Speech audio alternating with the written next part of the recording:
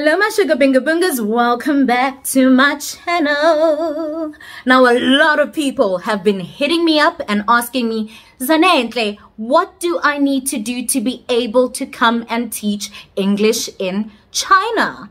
What are the requirements? Where do I go? Who do I turn to? Well, I'm here to tell you that you've got the right one. You've come to the right place. You've come to the right channel. I will be giving you a full and detailed breakdown of exactly what it is you need, what exactly you need to do, and where exactly you need to go if you want to come and live your best life in China while making that point.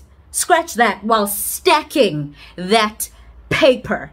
So listen very, very carefully. Requirement number one. You have to be from a native English speaking country.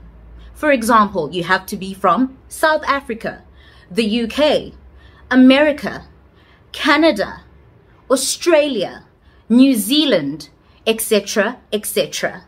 Furthermore, you need to be able to speak English fluently. This is important. You may be from a native English speaking country, but you may not be able to articulate yourself in English. So I have to mention this. Number two, you need to have a bachelor's degree. I repeat, you need to have a bachelor's degree, not a diploma, not a college certificate. They do not make the cut, unfortunately, as respectable and as prestigious as they are as qualifications. Unfortunately, you need to have a bachelor's degree. I am emphasizing this because if anybody tells you come to China with anything other than a bachelor's degree, please understand that you are being scammed. I'm guilty by P. I'm trying to find all these people who constantly say a degree is merely a piece of paper. If a degree is merely a piece of paper, why don't you print one for yourself, darling? If a degree is just a piece of paper, then print it out yourself and come to China and let's see what happens, darling. Why don't you print it out yourself and go anywhere in the world and say, boom, here's my degree. Here's this piece of paper that you think is so important. Let's go. Let's get it and see what happens to you. Yegan Mona, Stop projecting your bitterness, your misery, your unhappiness, your dissatisfaction with your life unto other people who have worked so hard to acquire their qualifications, diplomas and certificates included because they too are very, very prestigious qualifications. Stop mocking and diminishing the hard work as well as the achievements of others. Yeah, Angali, not everybody is meant to have a degree, a diploma, or a college certificate. If that's not your route or the route that you want to take, then you shouldn't be bitter about it. You wouldn't feel the need to belittle other people for having it. You wouldn't feel the need to be bitter and angry towards people who have those qualifications. Clearly, it shows just how unhappy you are. No happy person ever projects anger and bitterness and misery and just hatred towards people who have something that they don't have. And yes, you may be intelligent, successful, great, mighty, and excellent without a college or university qualification. Perfect. We commend that. We want that for you. We love that for you. But the minute you start being bothered by somebody else's life path or somebody else's qualification, then you have a problem. There is something that is hurting you inside. You are not as fulfilled as you're trying to make it seem. And some people, people like myself, can see right through that. You guys tend to forget that you can have anything you want. You can literally go to college, go to university, get your qualification, or you may take a completely different route and be a business person, an entrepreneur, anything that you want to be, or you could even do both. You can do whatever it is you want to do, so long as you are successful in your path, so long as you are answering your calling, so long as you are fulfilling your purpose and so long as you are happy. The minute you start bad mouthing another person's qualification, life path, whatever it is that doesn't even concern you, it just goes to show how unhappy you are with your own life. And I had to mention this and call you out on this because it is bad behavior. It is foul behavior. What kind of good sis would I be if I just let you be a miserable, evil person? Uzubonwa yonke umuntu ukuthi hayi man unenkinga lona. Unenkinga lona. Zikhuzeni bafethu.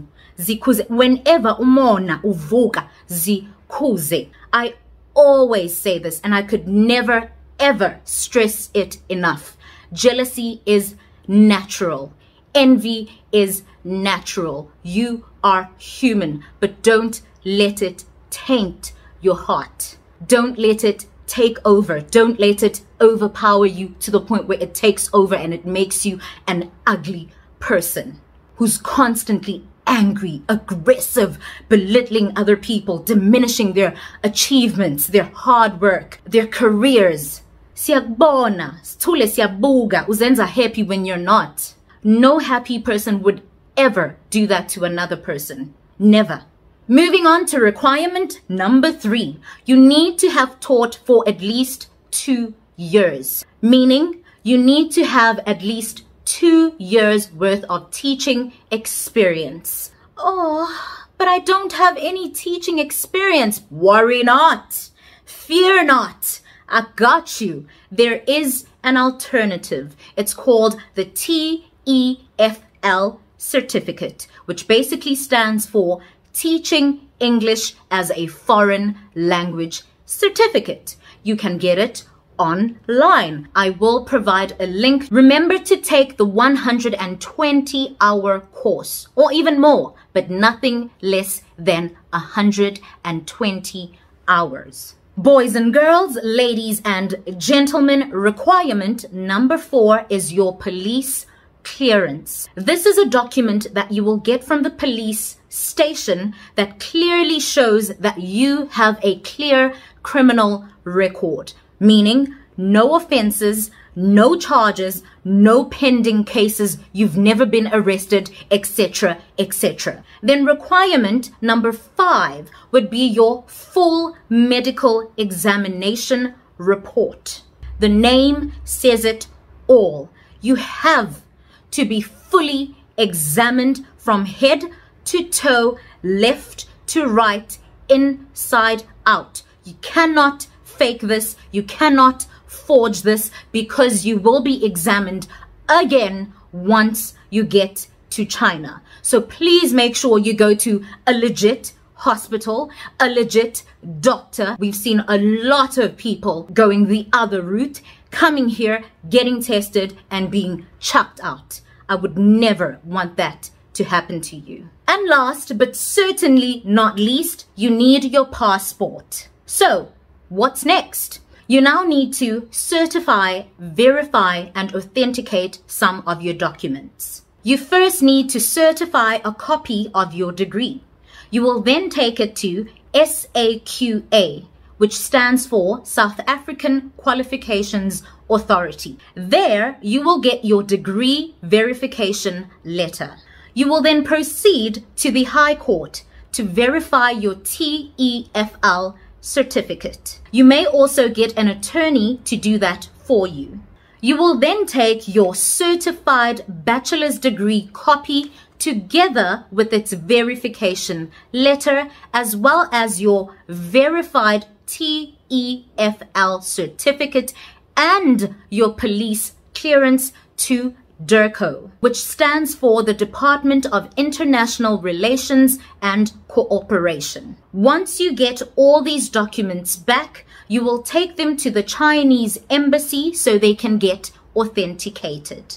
I know it seems like such a lengthy process, but worry not, guys. There is always an alternative. There are countless reliable agents who are available to get all of this done for you while you relax at home or while you study or while you are hard at work. But remember, nothing for mahala.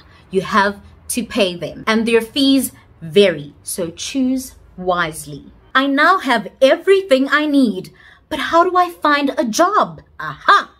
As a current or former university student, your university ought to make you aware of employment opportunities and job vacancies. It is your duty to check your student portal as well as your emails regularly. Universities highly recommend this teaching job, so trust me, you will get emails or messages pertaining to this.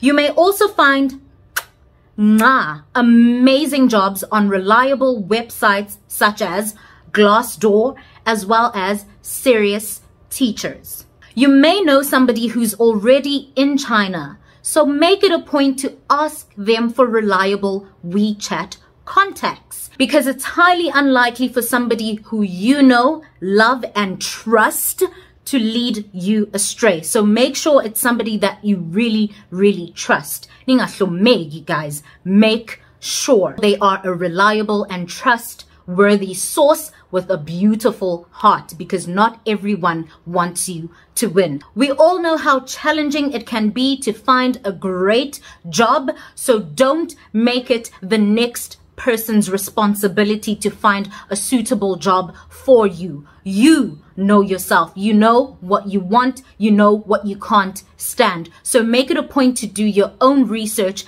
Make it a point to get everything you need to get done done. Don't just think because I know Uzanenhle and she's already in China and she's flourishing. Showcase, if I reach out to her, I'll get a job. Manje manje nami nandi. But you haven't done what you need to do to be able to get the job. You don't even have all the requirements.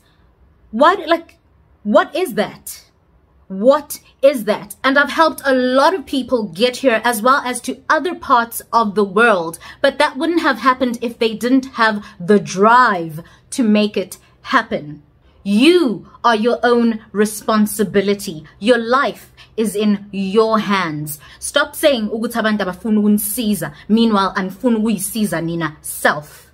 Having connections can only help you so much. You need to put in the work. And even guys. A person will reach out to you and ask you for information and ask you for help with this, that, and the third. You provide that help and then you tell them, make sure you get this, that, and the third in order so that you can get to destination Z. And then they ghost you. And then they badmouth you on some so and so didn't want to help me. So and so didn't want me to fulfill my dreams. So and so didn't want me to live my best life just like they are living their best lives. Meanwhile you didn't do what you needed to do wait nobody's ever going to take you seriously if you don't take yourself seriously with that said, you now have all the information as well as the resources that you need to fulfill your dreams. Show me how serious you are, but most importantly, show yourself how serious you are. Love and light.